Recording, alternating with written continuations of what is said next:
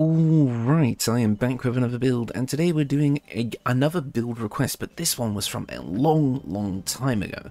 And I've had it sat in my backlog for a very long time, because I was never quite sure how exactly I wanted to do it. But now I think I figured it out. Today we are building a Grenadier, which the build request basically asked for was someone who is capable of using ranged weaponry, but also being able to throw grenades effectively, basically kind of being an infantry soldier. But then I took it a bit one step further. I wanted this guy to be kind of an agile fighter capable of using a ranged heavy crossbow, because that kind of just felt right to me, as well as being able to throw grenades as well. And when I kind of realised exactly what I was creating, I realised I was making something very similar to Doom Guy from the Doom series. Uh, again, being able to maneuver around the battlefield quite quickly and obviously be very adept with firearms and throwing grenades, as we said. Uh, not so much for demonic changing weapons or or like a um, like a giant sword or something like that, but just somebody who is very very capable at range in multiple different ways. And I think this build turned out pretty well, so let's get into it. First up, uh, you can kind of choose how you want to level this build. There's kind of two ways to do it depending on what you want to do. I'll go into the alternate options a little bit later, but for now I'm going to be focusing on the final build I decided on. I'm going to be kicking things off with Fighter, because this is going to give us access to all the weapons and armor we could possibly want, as well well as a fighting style, that being archery to give us a plus 2 to our ranged weapon attacks. Makes perfect sense for us. As for the ability scores, I've gone for a bit of a weird spread here. 16 in dexterity, as heavy crossbows do actually use dexterity. I would I would have expected them to use strength, but whatever. So we want at least a decent dex score. Constitution at 16, this is going to be actually quite a tanky build at the end of the day, as we don't really need other stats too much. Strength at 14, I want to be able to jump around the map at least somewhat effectively, as well as um, uh, have a decent throwing distance, as that is tied to strength, so I decided to leave this at a pretty middling 14. Intelligence and Wisdom I've put at 10 just for our dump stats, and Charisma is at 8. If we're thinking about building this based off of Doom Guy, he doesn't exactly talk much, but he's still very intimidating, so we will be getting that. And for the record, you may be thinking, why the hell have you made this a dwarf? Because I wanted to? And surprisingly enough, the closest way to get to Doom Guy's actual face is to play a dwarf. And I just thought, you know what, dwarves and like mechanical ranged crossbows and grenades, that just kind of made sense to me. So I've gone with a gold dwarf here, which gives us a bit more HP per level, which is nice, making us even more tanky. So this is technically a ranged tanking build, which I've only ever done once before with my Final Fantasy, Final Fantasy VII builds with Barret. So, you know, it's an interesting concept. As for our proficiencies, I've gone with the soldier background because that just made sense, giving us athletics and intimidation, and fighter gives us insight and survival as some decent starting proficiencies, but you could also go with perception if you like. Next up at fighter level 2, we're going to be getting action surge, allowing us to take two actions basically take an extra action once per short rest, which is really, really nice. It makes us able to just fire more bullets or throw more grenades in a single round, which is great. Next up, we have, uh, well, we're going to be multiclassing. I only want two levels of fighter. Now, here's the thing. You can kind of level up this build in any order you want. You can start with any of the classes, and it's not really going to change anything, as long as you make sure you're getting that ranged weapon proficiency, so fighter or barbarian would work. But you'll need to start up as barbarian if you want to take wizard. Because obviously if you are making grenades, with, if you're going to be using grenades with the build, then taking two levels of transmutation wizard would get you things like long strider, uh, enhanced leap, uh, featherfall, a bunch of other useful things, shield for just as a little bit of extra defense, um, and obviously Transmutation Wizard would give you the ability to, upon succeeding a medicine check, uh, of six of 15 to be able to create two grenades per alchemy solution. You're going to be using alchemy a lot with this build if you want to get as many grenades as possible, but you will still be able to find a bunch just lying around, uh, as that is kind of the main focus of this build. So that's an option. If you so if you want to, you can replace the two levels of fighter in this build with wizard, but maybe take up the barbarian level first. Just throwing it out there if you wanted to try it. And as such, you will also probably need the Warped Headband of Intellect if you want to do that as well. That's kind of how you could make your own grenades a bit more effectively. But for now, I'm going to be sticking with the non kind of wizard variant because in reality you could just have a transmutation wizard in your party as a hireling that could do all that for you much more effectively. So I felt like that was the better way to go, but if you wanted it all in one build, it is more than possible.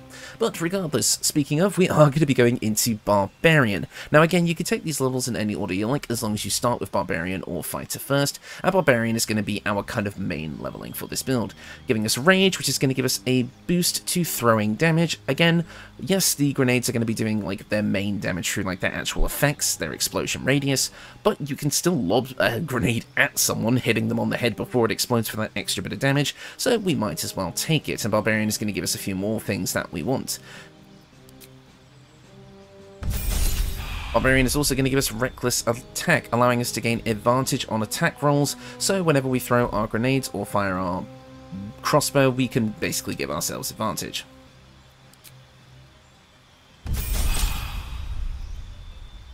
Um, next up we have the... Why did I pause for a second? That was so strange. Next up we get to pick our subclass, and of course we're going with Berserker. This is a throwing build at the end of the day, but even though we're mainly only throwing grenades, not weapons or goblins, but we still are going to want that bonus action throw to give us the maximum amount of throwing per turn that we could possibly get. And being a barbarian as well, getting those resistances, making us even more tanky, and this is also going to have a...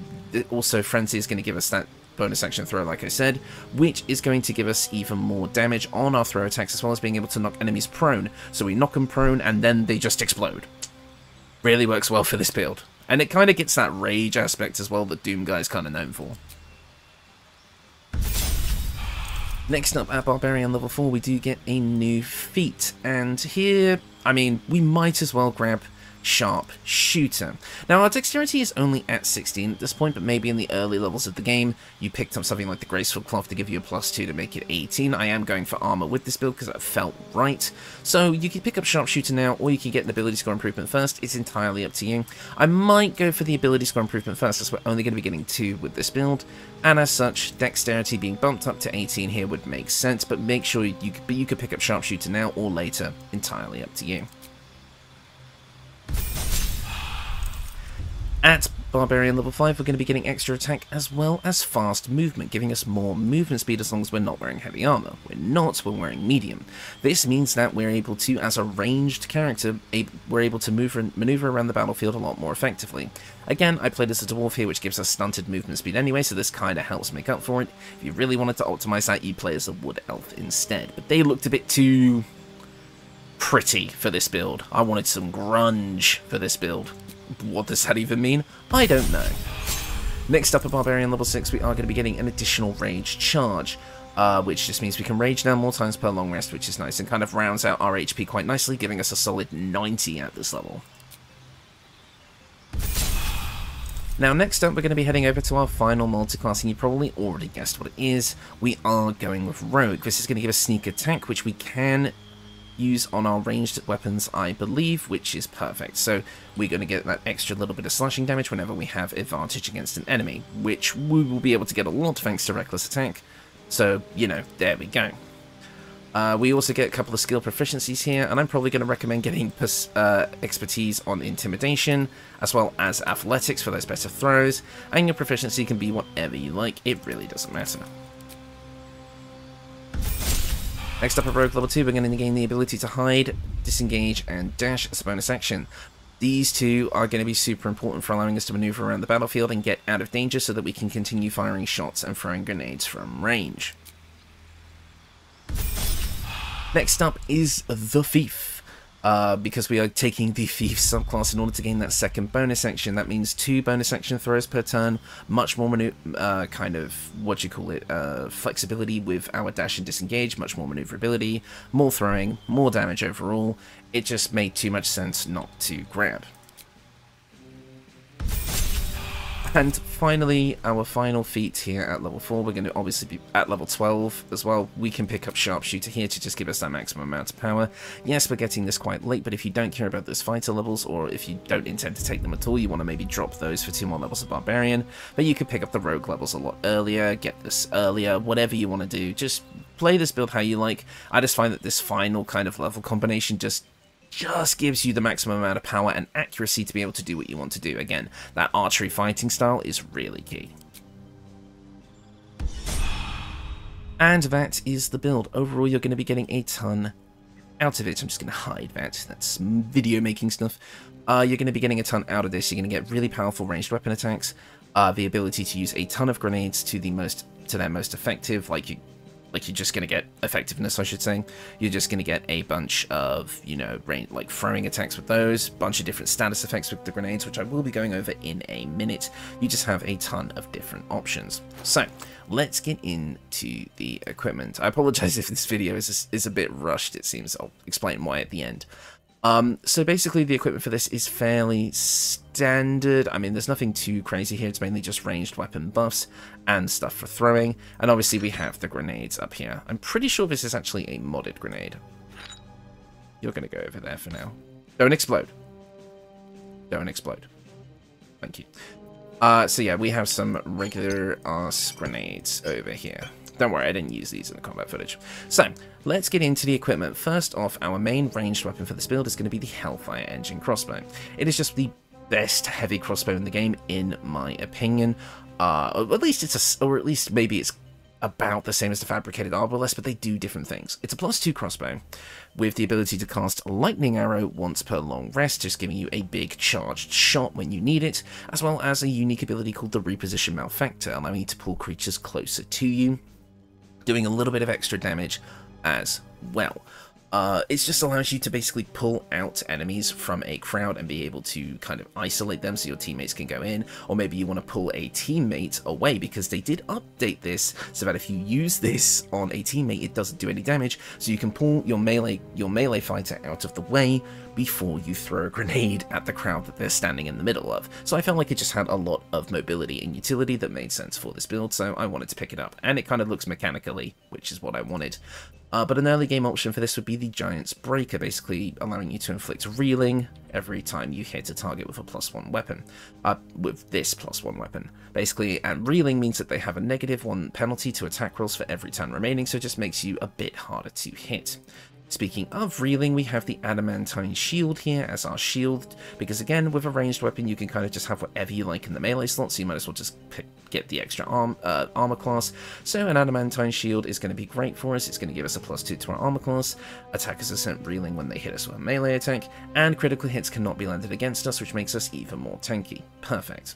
As well as paired with the Knife of the Undermountain King, this is just here to give us that critical hit um, damage threshold reduction, so we roll critical hits on a 19 or higher, as well as uh, we re we re-roll damage that is 2 or less on damage die, just meaning we're going to be constantly getting those high damage numbers off, especially with things like Sharpshooter.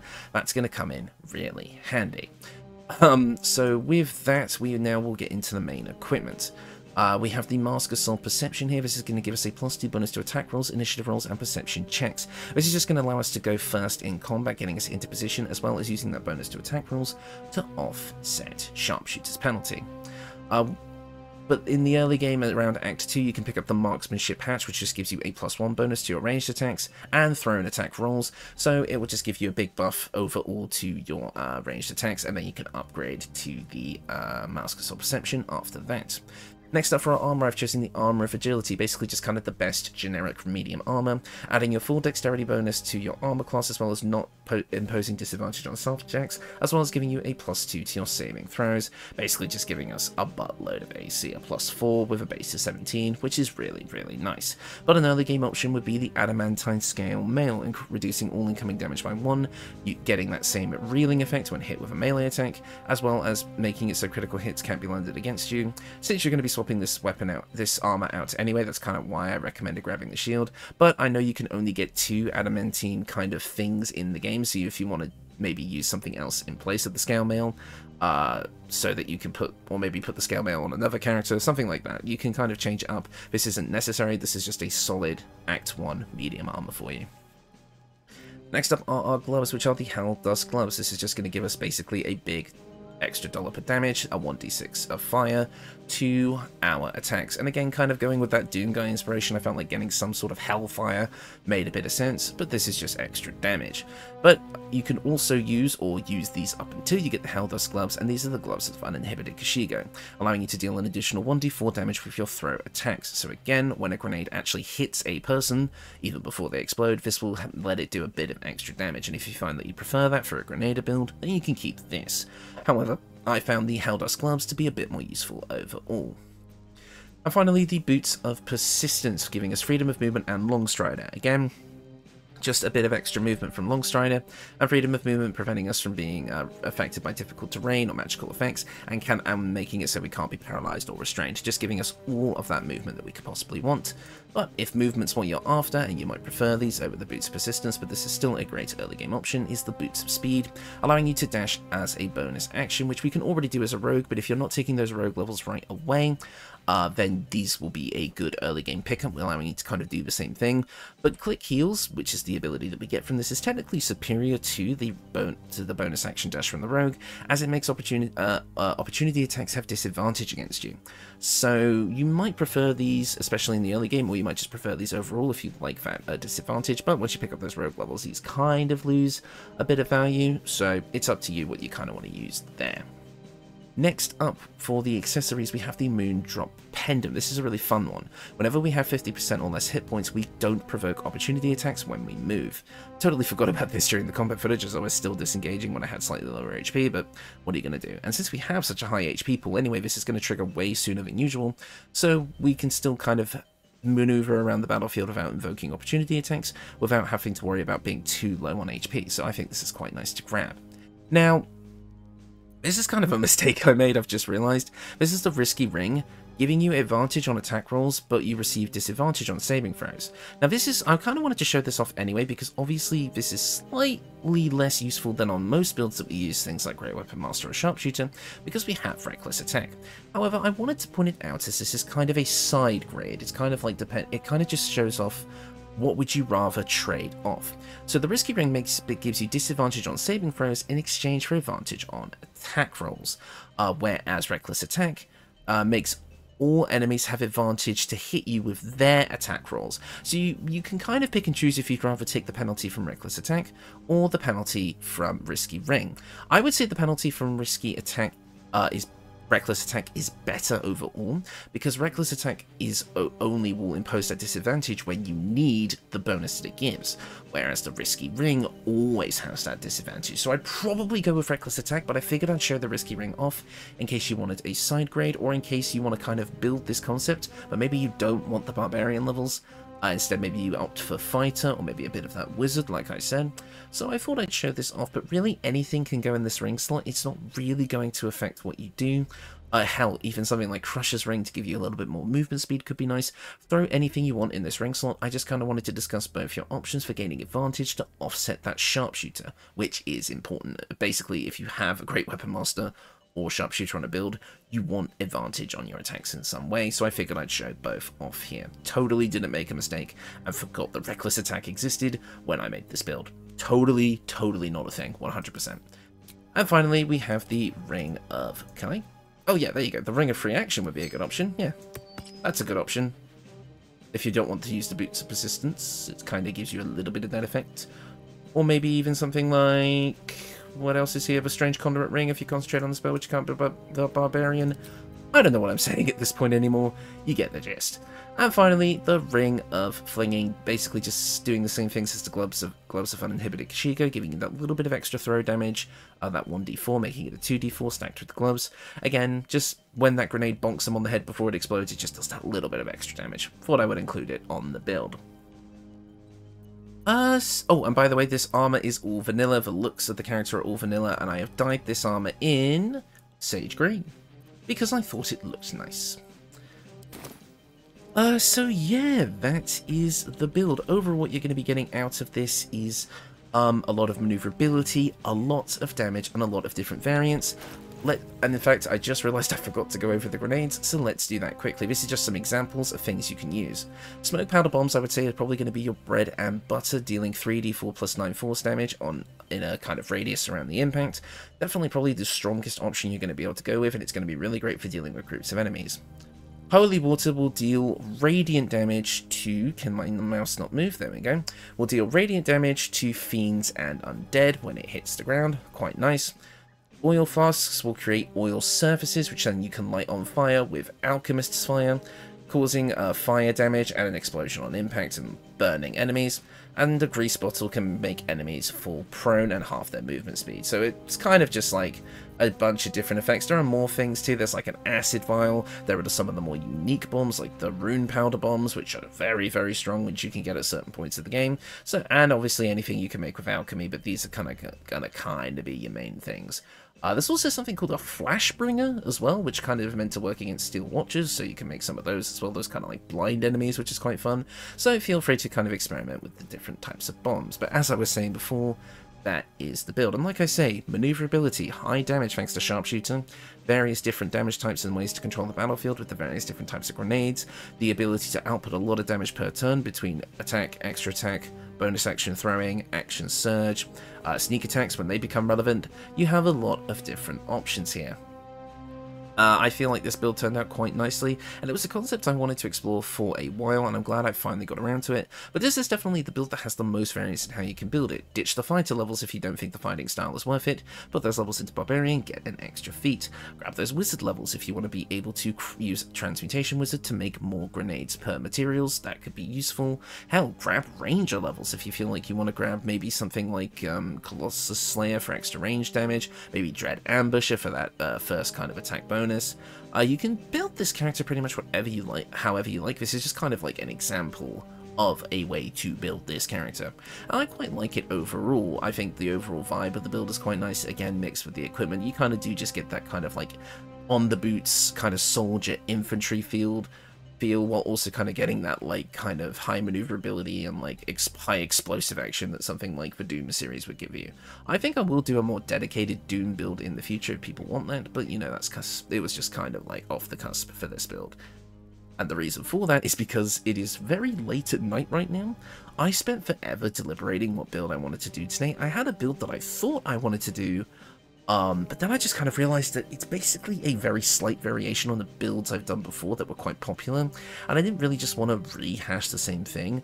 Uh, it was a glowing rogue, which was basically the idea of it was that it was a rogue that used the radiating orb gear to kind of be like, well, you can't see me if you're blinded by light. So it was kind of like the opposite of like a shadowy, stealthy rogue. It was just like a huzzah, flashbang, and then that was kind of the deal. So because radiating orb gives you a reduction to your hit rolls. If you want to see that, uh, let me know. But I was like, you know, I kind of want to do something different. I was deliberating back and forth. I was looking at Warlock, I was looking at Druid, and then I was just like, I was scrolling through my old build requests, build concepts, like I kind of have in my old notepad file. And then I saw the Grenadier, which I already had half built. I just had to figure out some of the equipment, and I was like, you know what? Yes, let's do this today. So I really, really hope you guys enjoy it. I feel like it was quite a fun concept to build around. Like I said, I kind of scrambled uh, to build this and record this video tonight because I was so indecisive. But there's going to be some more solid build concepts coming in the future. Uh, Friday will be a deity build, probably Corellon because we kind of had a bit more of an idea of how that one was going to go. Then Ogma after that. Next week, I want to kind of do another Dark Urge build if I can, but I'm going to need to uh, do some prep work for that because it kind of occurred to me that I don't have a complete Dark Urge save file like I do with this one, so I actually have to make a new playthrough, go through the game with Dark Urge, picking up some certain things along the way that I will need, uh, that you can only get from story events. Those of you who've played the game as a Dark Urge probably already know what I'm talking about. So, look forward to, I guess that will either be on Monday or Wednesday, depending. Uh, still working on that big, big kind of video that I've been talking about. If you've uh, been on my streams or like in the Discord, I've kind of hinted at what it's going to be. Um, and it's nearly finished. I don't have that much longer left to do. I just have some a couple of heavily edited sequences, and then just some fine tuning on some other sections, and then it will be out. I'm not going to say it's going to be this weekend, but it's a possibility. I would say probably next weekend is more likely. So look forward to that. And yeah, uh, I think that is going to do it for me. Again, apologies that this video was so haphazard. I'm just running a bit behind on things. Uh, next video will definitely be a bit more uh, substantial, let's say. I've, I've got a really fun idea for a Fiend Warlock build that I don't think people will see coming. So I'm really, because I haven't worked with Fiend Warlock in a long time, and I've really, really wanted to make something kind of fi fire themed again, and I think it's going to be really, really cool. So, but yeah, that is the build, that is the video. I will see you all next time, and thank you so much for watching.